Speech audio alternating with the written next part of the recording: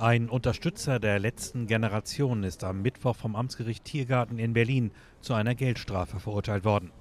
Wegen Nötigungen in acht Fällen, davon in sieben Fällen in Tateinheit mit Widerstand gegen Vollstreckungsbeamte, muss Simon Lachner eine Geldstrafe von 180 Tagessätzen zu je 15 Euro zahlen.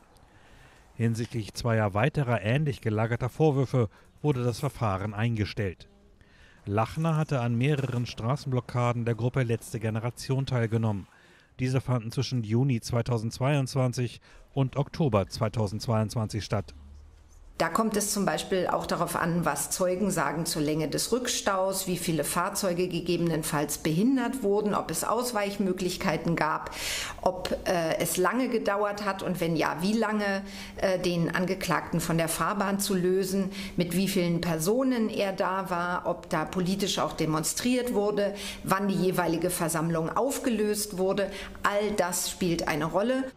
Lachner hatte sich unter anderem im vergangenen Sommer an einer Aktion vor dem Kanzleramt beteiligt, bei der Klimaaktivisten einen Stopp von Ölbohrungen in der Nordsee gefordert hatten.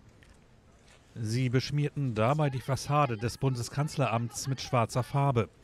Lachner hatte die Vorwürfe gegen sich nicht bestritten, die Proteste aber als gerechtfertigt bezeichnet. Die Katastrophenlage sei schlimm und die Bedrohung für alle enorm groß. Deswegen sei Protest auch auf diese Art gerechtfertigt.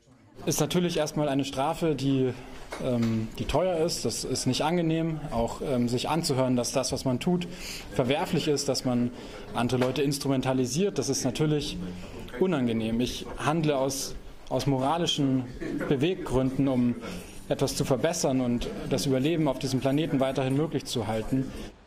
Die letzte Generation blockiert seit 2022 regelmäßig vor allem Straßen mit Sitzblockaden. Damit will die Gruppe nach eigener Aussage auf die Folgen des Klimawandels aufmerksam machen.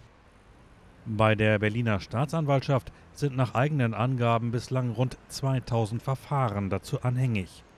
Das Amtsgericht Tiergarten verhandelt wöchentlich über solche Fälle.